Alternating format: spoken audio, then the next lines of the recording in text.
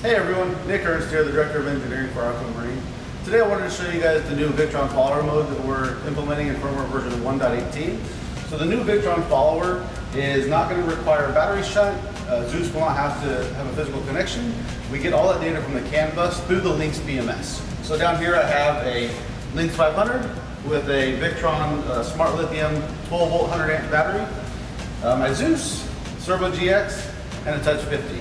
So Zeus is going to be getting all the battery information now over the CAN bus connected to the Lynx.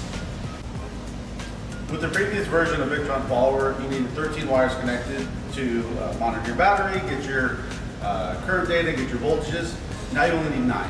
So you have your four wires go into your alternator. It's going to be your Alt V plus, your field, your temperature, and your tap, like normal.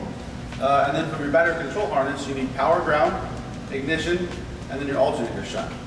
All the other data for the battery is coming from the CAN bus, so all we're doing here is monitoring our alternator shunt to see what the alternator is. Here we're running our Zeus high output alternator. This is the A275L. Uh, you can see we're running it at 850 uh, engine RPM, which is roughly about 2100 alternator RPM. Uh, at 43% duty, we're putting out 97.3 amps. Uh, we're charging our battery very efficiently here. Uh, again, all this data is coming over the CAN bus.